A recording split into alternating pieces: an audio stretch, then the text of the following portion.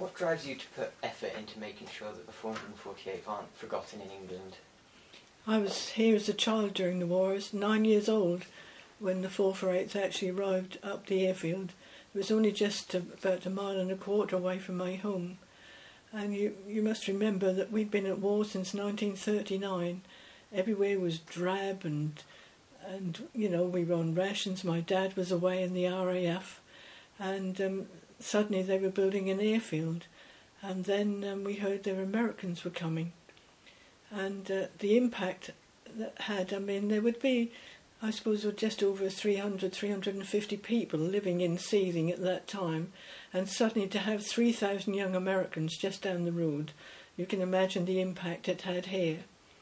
And uh, the first thing I noticed, uh, you know, we that impacted on us was um, the aircraft. When they arrived in November 1943, you can't believe how huge they were and the sound they made. And at night time, sound travels. So you would lay awake, and the first thing we heard was the, the, the noise. The putt putt engines would start up on the airfield, and then start up the four Pratt and Whitney um, engines, and uh, then there'd be this terrible noise, you know, as they were taking off um, to go off to war, and then then um, the only way they had to get around the villages were on bicycles. And they would always be, remember, all the signposts had been taken down so that it was to confuse the enemy but confused everybody else. So they would come and stop you and ask you, you know, um, can you tell us where the nearest pub is? And um, sometimes would ask you if you've got a big sister at home. But um, I mean, I was nine years old. All we knew about America, remember, uh, although we lived in a, a really modern house, there was no electricity and there was no water, and uh, so you know we, we we we didn't have much, and so we didn't know much about America. There was a few lessons at school, geography lessons, and perhaps some comics or something like that, but no one knew anything about it. All I knew about America was um, Tom Sawyer and Huckleberry Finn books because um, I was very shy and um, I just loved reading. I'd get my head in the books when I could get them. Um, there was no libraries, nothing. You never hardly left your own village, and uh, I mean, children nowadays have got no idea. There's, there's no television. The only radio you had was with a with a battery, and so you know we we were really uh, the impact that would never have an impact now, like it did in those days, and they were so friendly, and then suddenly um, we got uh, still in that November our, our school. It was a it's a clay lump school with a thatched roof, all very primitive, and there was lots of us children there. And uh, and then we had to have all the evacuees that came from London and trying to to get uh, enough um, desks and everything in and supplies to for all of them. But we got an invitation. Some Americans came and invited us the school up to the um, base for a party. And what it was, that was Thanksgiving in 1943, just when they'd arrived. They hadn't been there long at all. In fact, um, the air crews arrived uh, on the day when we first went up there. The ground crew had been here since about August, September, and they were the ones who had to work to get the base ready because when they when they came over, uh, actually the, they were still building the runways. And so that they invited us up there, and I can still remember standing outside our school, uh, waiting and seeing these canvas covers trucks coming up, and the excitement of being lifted up to the back and uh, and uh, being taken up there. But I had a younger brother, and he'd only then started school, and so uh, rations, uh, clothing rations, was very um, sort of scarce, and uh, and my brother was losing everything. And so I was instilled by my mum to look after Reggie and make sure he doesn't lose that overcoat because he'll never have another one. And so there was me sort of chewing my fingernails and hoping he didn't lose it. And as soon as we got there, they took all our coats and um, t- put them away somewhere so we didn't see them anymore. But there wasn't enough children to go round. All the questions I wanted to ask you know, I was going to ask so many questions about America when I sat at this long table with all these Americans who wanted to ask me questions. In the end, I think all I told them was my name and said yes, please, and no, thank you. And I, I never did get to ask the questions, which uh, I was, you know, was able to do later on. But um, they they were always riding around. They they brought supplies to the school. They gave concerts in the in the chapel and uh, in the school. They came and um, and they, they were doing so many good things. And um, although I didn't have a big sister at home where I lived, there was a few big sisters, so we used to have quite a lot of Americans come down our road, and some of them were actually um, flying. So when they came back from a mission, they would um, um, sort of come and flow low and sort of waggle their wings to let them know that um, they were safely home. But uh, that that that's that was the first impact I had of them. But then they they came and um, the ground crews mainly um, got more connected with the local people, and um, they they used to go and um, and go into homes and be sort of more as adopted because some of them lied about their age and they weren't even old enough to be over here. A lot of the pilots flying were not even old enough to drive a car in America. And um, some of them tried to pretend they were older than what they were, so the crew didn't realise that, that they were uh, they were only just twenty, and uh, and uh, if if you were in your late twenties, you were known as the old man on the crew, so that um, and then because then we've been at war, we were used to planes, um, so we had the the RAF going over top because we're on the way to the coast, going over top. Um, um, flying their daylight raids, uh, their nighttime raids. They would be then coming home, but in between, uh, the German um, planes would be coming, and you would know because their engines were not synchronised properly, so there was a, a, missing beat. And even before the air raid sirens went, you would have um, you would know that the, the Germans were coming, and they bombed around. They bombed around the airfield and from my bedroom window I used to be able to see Norwich burning as they bombed that.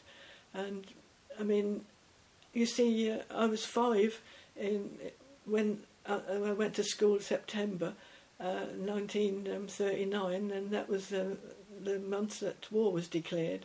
So you grow up and you, you don't know any different. So, you know, you, you, you became used to it. So I can't say I was absolutely terrified, but um, sometimes um, that was bad. But um, I, I, remember, you know, them being strafed up the airfield, and the only lights you saw at night would be the searchlights crisscrossing, trying to find them, or the flashes of the AT guns going off, and that would be the only lights that were allowed to be shown. But uh, on April the 22nd, 1944, um, it was the, the night that, that the actual um, Germans followed them back home. They were briefed to go uh, flying on this mission that day, and then they were recalled because the weather was too bad over the target area. And uh, then they were recalled after lunch, and they didn't take off till about four o'clock. And uh, as they were coming back, um, it was dark, and German fighter planes got in, in among them. And my dad happened to be home on leave at that time, and there was all these guns firing all around everywhere. They were on the tracer bullets and bullets were going off, and we saw fires up the airfield, and that made a big impact on us. And uh, and uh, you know, you, you know, for a child, that's something that stays with you. And the more I learnt about um, what happened and by different people um, because with mum was on her own with just us two. My brother was only born 1938, so he was young and she had had us and you had to grow your own. So we were busy working all the time, but there was always um, young Americans stopping and talking to you, and uh, and they were they were so friendly. Uh, um, that's what we couldn't get over. I mean, they were so pleased to talk to us. A lot of them had left brothers and sisters behind, we used to go up to the airfield and to the just to the borders of the airfield at the weekend, as girls, we had to have somebody else go with us, you know, somebody older. We weren't allowed to, to go around um, so much on our own. And they would come to see you and uh, talk to you. And my favourite thing was getting the comic strips out of their newspapers. I grew up knowing more about Little Abner and all that type of thing than I did anything else.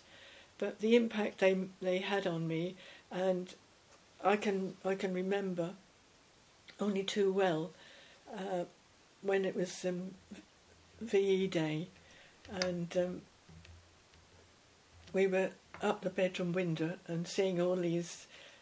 I remember we, we'd been in darkness, and suddenly all these brightly coloured flares and rockets going off. I mean, we, we didn't really ever have fireworks because we weren't old enough before the war started. And um, my mother explained to me that was the Americans, and they were celebrating because it was VE Day and they were going to go home. And I sat up my bedroom window and I cried. Although my dad was in Europe with the RAF, I didn't want them to go. And um, and after they went, the impact w- was awful. I mean, everything was so quiet and drab, and I got so hungry to hear these American voices. I used to listen to uh, American um, Air Force in Europe um, radio programs, you know, just to sort of um, try and sort of catch up with it. And um, we couldn't go on the airfield for many years because it was used to store bombs and ammunition. But uh, once I was able to go up there, the, because up there uh, that land is suitable for cowslips, and I went up one spring on my own um, to gather cowslips. And when I got up there, all the runways were stretching out in the distance. The buildings were there with their doors and things rattling, and never as anywhere, it's hard to explain, but never has anywhere been so empty and desolate, but so charged up with all that had happened. I could see in my mind's eye when we saw one time a plane that was landing which was damaged and come careering across the grass and all the things that had happened. And I stood there in my soppy sort of memories and said, um, I'm never going to forget you and I'll try and help other people to remember. But life went on. I was courting and I got married and um, I had my own children and I didn't see any Americans. You would hear that perhaps um, one of them had come, you know, to because several of them had got married to local girls, and you know, someone would ask where the nearest pub was, but we never got to see them. Then in 1984, we heard they were coming back to actually um, dedicate uh, memorials, one in the churchyard and one on the airfield. And I thought this is the time for me to ask all those questions I want to ask. And but unfortunately, fate played a hand. And two and a half weeks before they were due, and I'd been helping to organise and get funds. We were having a big reception in the village and up the airfield. But before that, um, my mother and my brother were killed outright in a car accident um, in the next village, and so I had to arrange a double funeral. And um, just before they they came, so I never did ask those questions. Um, but um, luckily, uh, I managed to get um, the addresses of some of the people who'd um, paid money to have the memorials done, the Americans. And so I started in 1984. I started writing to them um, no one was more ill equipped. I, I couldn't type. I hated writing letters. I didn't have any money. I had no idea how to do things, but I knew what I wanted to do, and I started writing to them on this on this uh, blue email um, paper uh, letters, asking you know about their time here, uh, how what they thought of it, and just a general thing. And I I posted off about fifty letters and waited and waited and waited and nothing happened. Then suddenly one day the postman brought an A4 uh, envelope with um, World War II photographs and um, saying, you know, how pleased they were. And that's how it started off. There was many times when I thought, oh, that's no good, they don't want want um, to know. And you had to try and convince them that although you were a, a woman, um, you you knew what you wanted to do and uh, and I remember one time when I was quite low I suddenly got a letter from this man and he said, "You'll never know what your letter meant to me." Um, I'd never talked about my wartime days, that no one knew, and I didn't think anyone was interested. And suddenly to find out that um, we hadn't been forgotten, and I walked to my office with my head held high, and I actually told all who I was working with all about my wartime, and I can't wait to come over.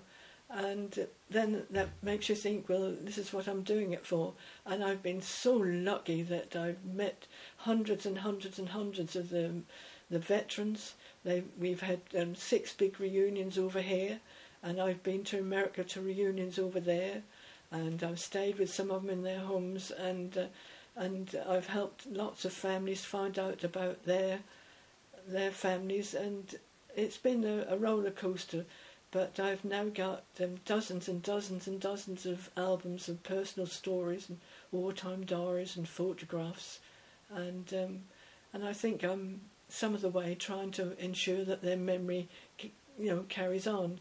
But um, this was in 1984 when I started, and then in 1985 they suddenly dis- started to think. The Americans said the control tower was in a dreadful state, and really derelict and they thought that'd be nice if it could be tidied up so when they come over that you know that would be um, much better. And so the first restoration started and my husband Ron was involved with it and um, and because I joined and took my things in so I was part of the original committee that um, started up the, the the control tower in 1987 and and uh, and I've been in, involved ever since and it's it's it's been uh, a real roller coaster. But seeing, I mean, the facelifts that control towers had, I wish I'd had as many, and uh, uh, you know that that. That, that's great just to see it grow and to see the interest and the tears in their eyes, you know, when they come, especially the veterans. And I think what what I found hard was uh, one day I had um, a family come um, and a veteran and I were talking up in my room in the control tower, and um, he was talking about his missions, and I was because I knew, you know, I'd done research and knew what he was doing, and so he was telling me all about it. And the family stood the other side of the room with their jaws nearly open, and afterwards um, they said to me, um, "He's never once spoke about it, not since the war." And uh, but when I said uh, mentioned it to him, he said they never once asked, and I felt like bashing heads together because while even now you can especially now with the internet, people can do it so much easier than I had to get everything from America. There was nothing in this country at all about um, the Seething base or the men or anything. So I had to get all the records and everything. I had to get them all from America, and, and that's by post, not not by internet and all that kind of thing. And uh, just you can give them the records, but you can't give them their personal experiences. So you know uh, they're so vital even now for everyone to just to tell everyone you know what's happened in their families because people now the, the grandchildren and everything who are, are all now trying to find out what happened. A lot of them don't know till they clear the houses of their elderly relatives and find out they were in the war even. They didn't have heaters in the plane. How did they keep warm? How did they keep warm? Um, well, when when they first come, they have a bunk and they have three straw square pads.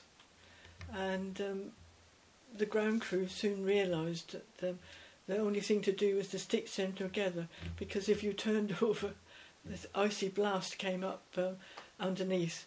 So they used to have to do that. And they only had um, blankets, they didn't have any sheets or anything like that. And uh, so they were cold. Their food was rationed. They only had one lot of food a week, and they had one pot-bellied stove in in the hut. They used to go out and scavenge um, wood or anything, and then um, very often they had coke, which is not very good um, to to keep alight, and um, some of them rigged up um, things with which dripped oil in, and they had to they had to be very careful because they used to get up to all kinds of things to try and keep warm. Um, but the regular thing used to used to go out when it was dark and go to the to where the um, cookhouse was because they used to have coal there and sort of borrow some coal to take back.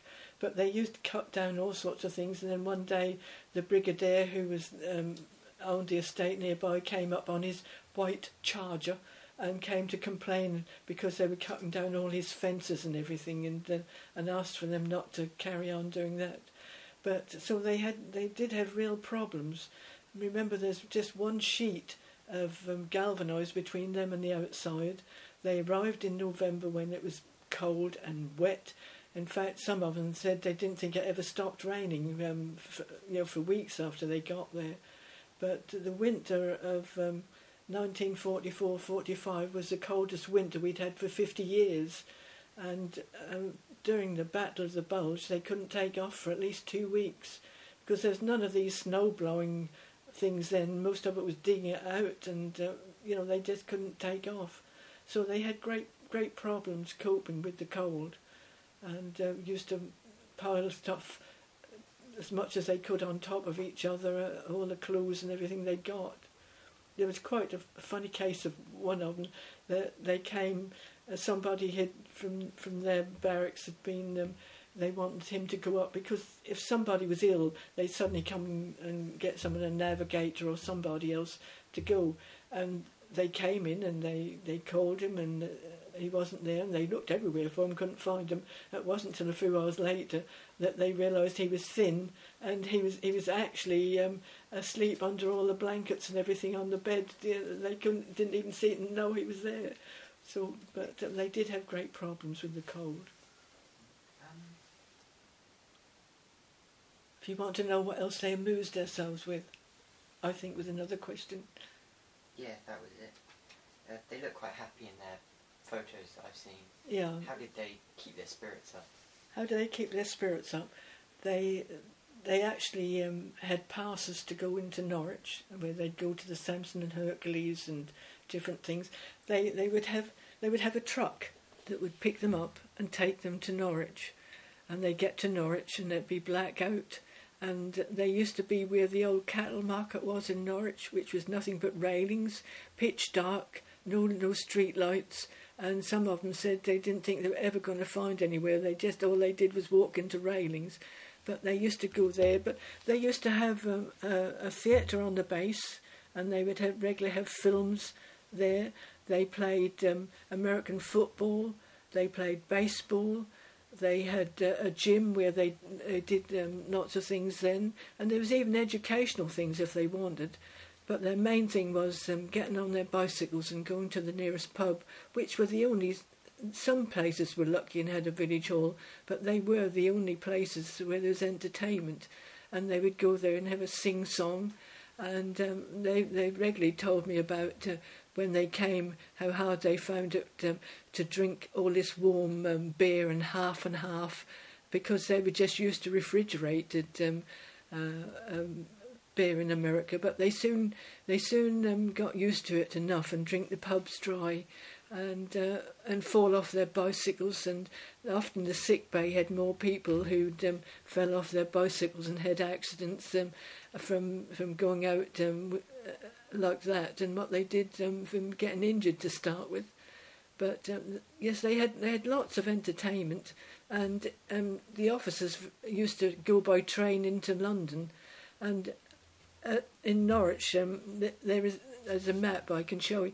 They were given a map for Norwich to show where all the picture houses and all the theatre houses, you know, theatres were, and they'd give one um, and where the American Red Cross base was there, so they could go and have a hot shower. It was cold showers. They didn't even have um, hot showers, and they had to. Uh, sometimes they used to put their helmet on top of the stove to put some water in, so they could have warm water to have a shave in and uh, so they used to have maps for that. But the officers very often used to go by train, but most of the uh, the, the ranks used to sort of go uh, sometimes, but there a lot of the time they stayed in this area. But then sometimes, um, if they had a long enough leave, um, they would they would go um, up to Scotland. The officers would, you know, that way they'd get up there. And there was there was whiskey up there, there was steaks up there, and there was no bombs up there. So because going to London was um, horrendous, really. Uh, when the, the bombing and then the V bombs coming. I mean, when they used to come over, we they used to come over us to get to anywhere else. So we were used to seeing them as well. I mean, when you look back, I mean, the, the changes in our life in, in those few years was tremendous. But uh, yeah, they, you know, they they they did their best. A lot of them had troubles, and some of the men never ever left the base. The ground crew, they, they never left. They ne- they they stayed on the base all the while, all, all the while they were here. And I mean, James Hoseason wrote a book called A Thousand Day Battle, which I haven't ever counted up, but he, he, he estimated it's about a thousand days they were here. Uh, but um, I mean, they, they had they had their problems, terrible problems.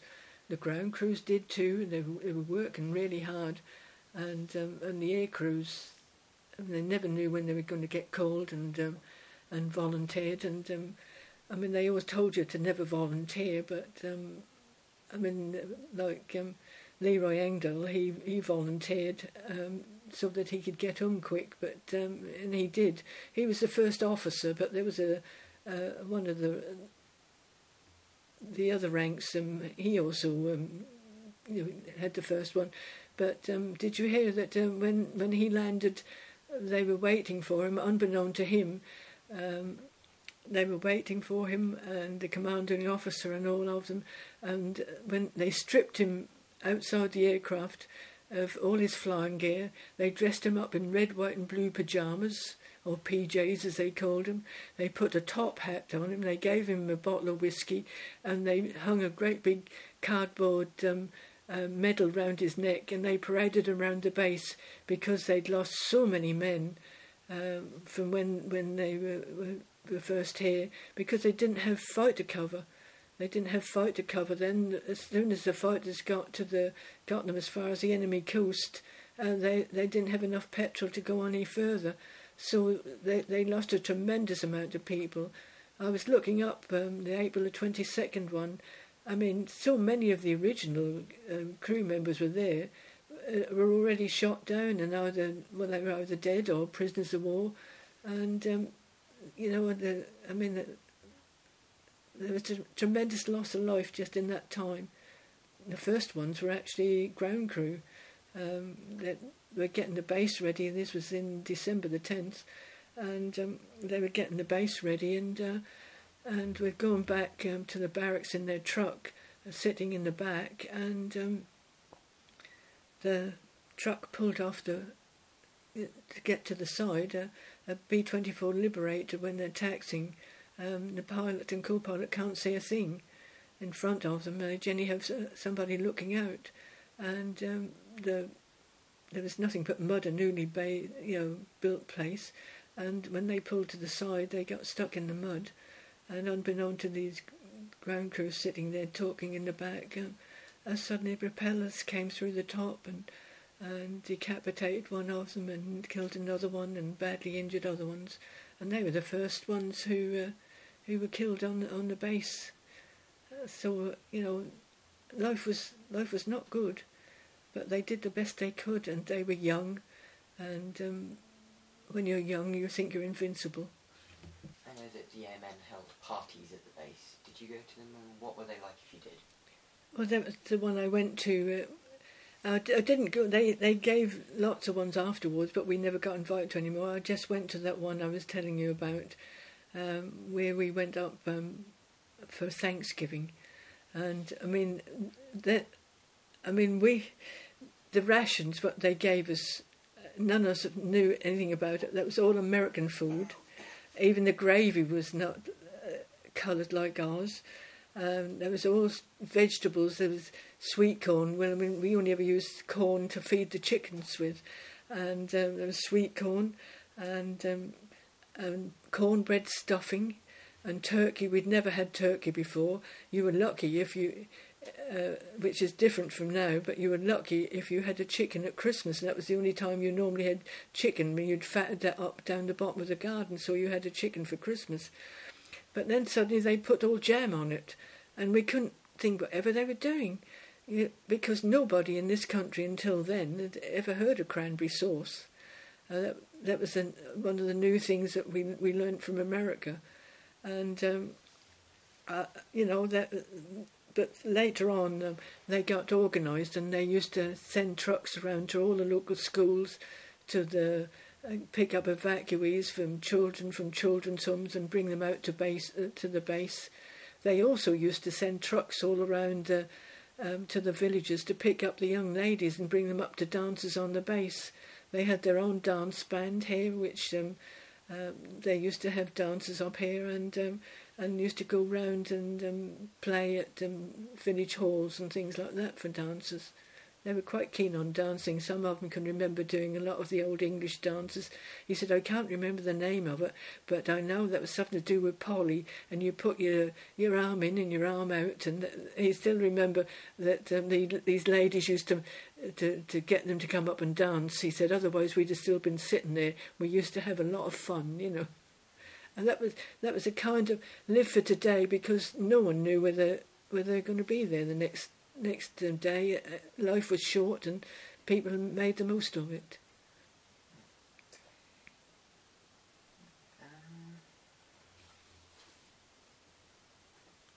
I can, I can, uh, I can tell you, but I can tell you this off offline if you like. Um, I, I dug out the records. Uh, first of February 1945, and it, was um, the kind of things they had on. They had they used to have a religious service, Protestant, Catholic, Jewish service. They had movies. Today's the last for the last time. It's Holiday Inn with Bing Crosby, and Friday and Saturday they had um, Dragon Seed with Katharine Hepburn, and they had had a library, and uh, they had gifts and and post was collected, and uh, they they they they used to used to go to uh, Norwich and used to have regular things to go there. And um, this is a, an original um, um, program from a Christmas Day football um, game that was held at, at Carrow Road in Norwich. And um, so you know they the, things were organised for them everywhere, and in in Norwich actually, or just outside Norwich. Um, they even had a, a, a, a, house where and um, boats were provided for them to go uh, sailing on the Broads. And some of them, I've got pictures of some of them. They were playing golf at uh, with some of the people at golf courses, and they, you know, they got um, involved with, with all manners. They took rations to the um, Jenny Lind Children's Hospital and I used to go round with their choir and sing um, over Christmas time. And um, I mean, if anyone used to go and stay with anybody locally, you might have to chop this about. If anyone went to stay with somebody locally, um, they would be given rations because there is a booklet out and that gives them all instructions on what to, to do and what not and the differences in our languages because what things means in one uh, is different in another. And um, they they would be given these tins to take to help with the because they said you'll go to a a, a village home and they will um, will then ask you um, you know for a meal and they must probably give you nearly all their month's supply of food because everything was so rationed. Uh, um, but they would be given these tins, and, and and I've had some funny stories from local people. They didn't know what the codes were on them, and they thought they were going to open a tin of peaches, and that'd be a, perhaps a huge, great big tin of baked beans and things like that. But they used to used to bring rations round. Remember, the only thing that wasn't rationed were fish and chips. And so they got quite used to having fish and chips. And when we had one of our big reunions up here, I, I used to help arrange them and, and do everything. And um, they were having two meals up the airfield, and I'd organised all these big marquees and everything, and, and I'd organised fish and chips for them, um, at Poreland shop, and they brought them over in heat, you know, in these containers, keeping them hot. Because in America they didn't use vinegar, you know, and uh, so they had to. But do you know what the complaint was? Where are the newspapers? Because um, then there would be one tiny piece of um, greaseproof paper, and then they'd all be wrapped up in the newspapers, and that way they used to like to read all the news in the newspapers. But uh, fish and chips, otherwise everything was rationed, so that used to be very hard for everybody. What are the highs and lows of the work you do for the 448th and the control tower? Um, the highs are was in the first original days and years, was meeting the the actual veterans and talking to them and their families, and um, spending time with some of them in America, in their own homes. So I got to see the real America. Uh, none of this Disneyland. I didn't want to do anything like that. I just wanted to see the real America. And I, ate, I had the food that um, Tom Sawyer and Huckleberry Finn used to have from my childhood memories, and they were the high ones. The the lows are when things haven't gone right, and um, and then losing them, as one by one they're, they're dying, and now I don't think there's any left now, and, and that's a sad thing. Uh, there's so many memories. Uh, there was three people. Uh, there was myself, who was writing to all the Americans and getting their records, their stories, their photos. There was Tom Britton, who was the expert um, with B24s. Um, he was married to a French lady, so when he retired, he went to France. And so I was able to pass on to him all the information uh, that I got from them about the B24s. And then there was Jan Hay. He's the, the top expert um, and he, he, he, he got awards from this country and everything, and all over the show.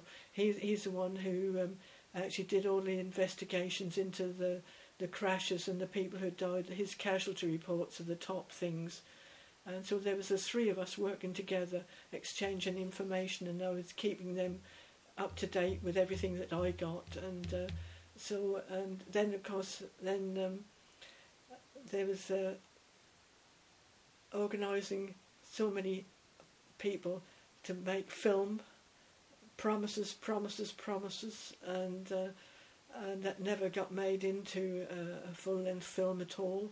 Uh, I worked hard on one of them, getting all these people organised over here, people who went to the dances on the base, children, and um, you know all, some of them who'd had them come into their houses, their families, and uh, that was all organised. And I I went organised it in America, so um, they were all going to be interviewed there. But um, on that particular day, for a reunion, they have about three days. Some of them had travelled thousands of miles to get there, and um, and they spent one whole day around this hotel waiting um, to be filmed, and and because it wasn't soundproof, they had to keep being stopped because the sirens going off and everything like that. And then some of them gave up a whole day and never got interviewed. That was a bit of a down downer thing, but um, it, has been on on average, it's, it's been brilliant. And you know to be able to have people come up there who don't know anything about it, the, the Americans particularly, and they have no idea, and I can actually tell them tell them the planes their their grandfathers or fathers or great uncles or ever uh, flew on. Uh, that that's that's been the high point of it, and um, the down point is uh, I'm old and I can't do it anymore, and I can't carry on, and I can't handle quite so much of all this high tech things um, as as what I did, and uh, and um, the low point is I've got to hand it over to other people, uh, and and and I know this, you know, Richard. Uh, I'm the past and Richard is the present.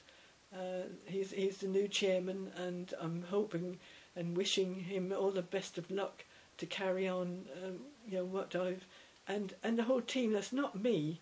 There's a whole team of people. There's I think uh, I don't know whether you, uh, Richard is the sixth or seventh chairman, and a lot of them have died or moved on to other things, and um, there's a whole team of people been involved. Uh, it, it, takes it. I mean, to get the control to, to what it is now, to what it was when it was first done, just empty rooms, nothing in it, no money to do anything, and um, so that you know that's the highs and that's the lows.